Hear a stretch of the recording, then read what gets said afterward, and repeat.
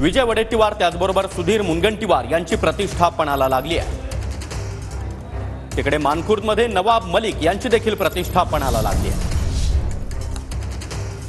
थेट मानखुर्दमध्ये आपण जाऊयात. अक्षय मंकणी आपल्यासोबत आहेत. अक्षय मतमोजणीला सुरुवात होण्यासाठी अवघा आता अर्धा तास उरलेला आहे. उमेदवारांची धाकधूक जशी वाढलेली आहे तशी महाराष्ट्राला देखील प्रतीक्षा आहे की आज काय निकाल लागणार.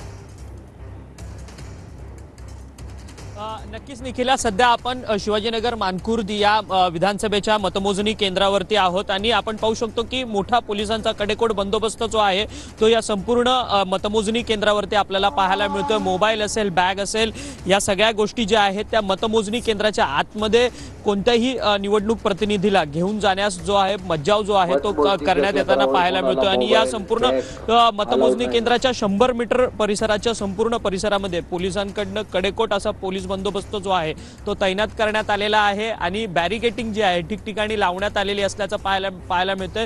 संपूर्ण रस्ता जो आहे तो निर्मनुष्य करण्यात आलेला करण्यात आलेला आहे. शिवाजीनगर मानखुर्द हा विधानसभा जो विधानसभा क्षेत्र जे आहे ते सेन्सिटिव्ह झोनमध्ये आहे. आणि या ठिकाणी कोणत्याही परिस्थितीत अनुचित प्रकार घडू नये याकरता पोलिसांकडनं संपूर्ण ब- खबरदारी जी आहे ती या ठिकाणी बाळगली जाते.